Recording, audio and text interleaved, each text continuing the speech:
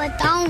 बीवी के मेकअप का खर्चा बर्दाश्त नहीं होता और बिना मेकअप की बीवी बर्दाश्त नहीं होती